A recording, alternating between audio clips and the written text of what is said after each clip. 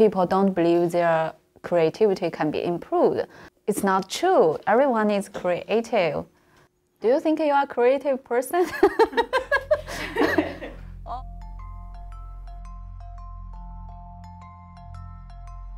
Hi, my name is Shasha. I'm a graduate student in the Department of Design at The Ohio State University.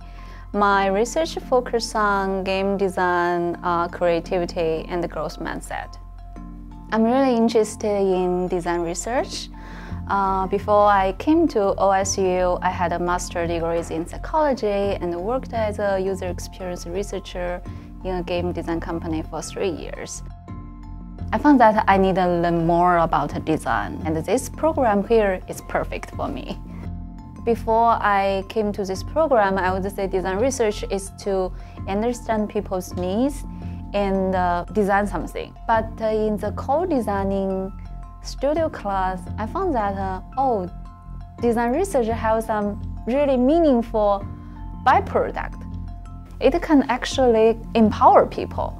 I'm trying to use game as an approach to enhance people's uh, confidence in their creativity.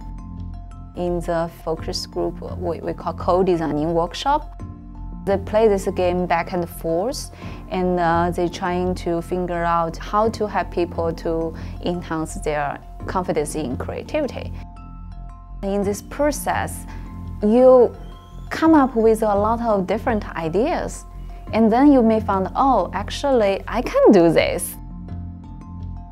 I do see strong patterns that uh, for most people, they feel more confident in their creativity after only one workshop.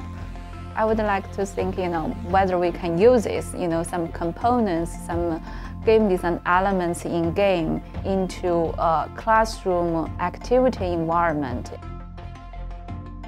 One of my goals of my research is to empower people, lift people up, and helping students to build more confidence in their creativity. I think this is really important.